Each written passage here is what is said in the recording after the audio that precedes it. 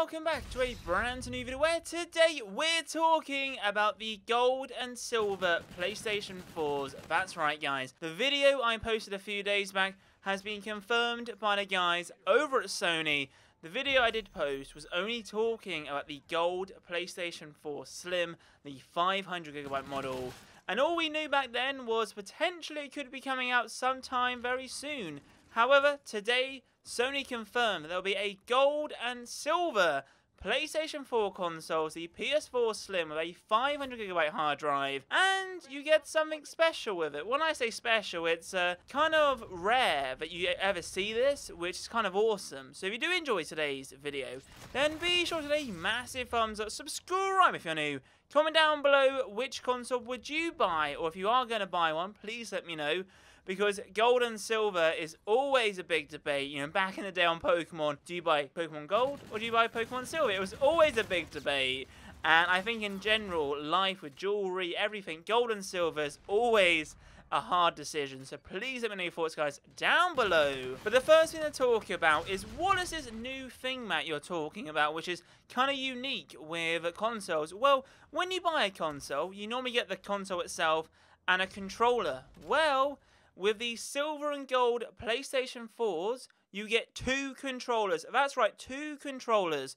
So if you buy the PS4 Gold or PS4 Silver, the 500GB model, you will get two controllers of that color. So if you get a gold PlayStation 4, you get two gold controllers. If you get a silver PlayStation 4, you get two silver PlayStation controllers, which is a very nice touch because at the moment they're only available in the 500GB model and I don't see them upgrading that hard drive anytime soon as these consoles are limited edition. The release date is June 28th and if you are interested in these, I definitely recommend searching around straight away and get a pre-order because Sony just said these are limited edition and I'm guessing once they're sold they're gone. But we don't know because you know PlayStation currently have the jet black version they also have the glacier white version and whether or not they want to keep the gold and silver on the line who knows I guess it depends on the popularity and how how well it really goes down with the community really because at the moment you've got the jet black, the glacier white, and I think having the gold and silver as well. I think that, you know,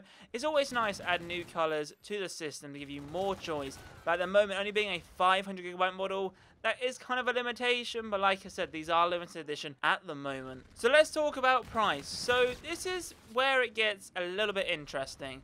So a standard PlayStation 4 Slim, the 500GB model in jet black or glacier white, is around 200 to 225 pounds in the UK. Now, the PS4 in gold or silver, the same specs but with two controllers, is valued at 275 pounds.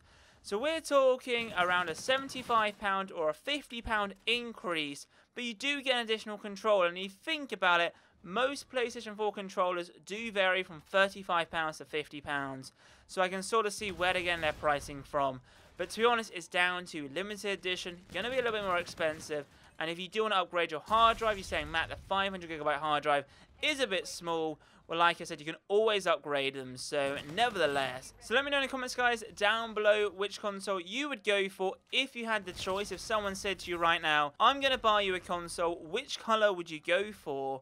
And actually, you know, let's let's throw some mix into this you know, if someone says to you right now, I will buy you a PlayStation 4 console, which color would you go for? The jet black, the glacier white, the gold, or the silver? For me, currently I have a PS4 Pro in jet black. It's the only color you could go for at the moment with the PS4 Pro. But if I had to choose on the PS4 Slim side of things, it's tough, right? Because I think A, it comes down to where that PlayStation is going to be. At the moment, my stand is all black, so I'm guessing I'd go for the jet black. But if I was choosing this solely on color in terms of which one I think looks the best, for me, gold looks amazing, but so does silver. But gold, for me, it just stands out. It'd Be pretty cool. I mean, it's similar for me when it comes to MacBooks, right? You know, when Apple brought out their silver MacBook, when they brought out their space gray, and rose gold, then gold, and you had so many options to choose from. And for me, the gold one looks good.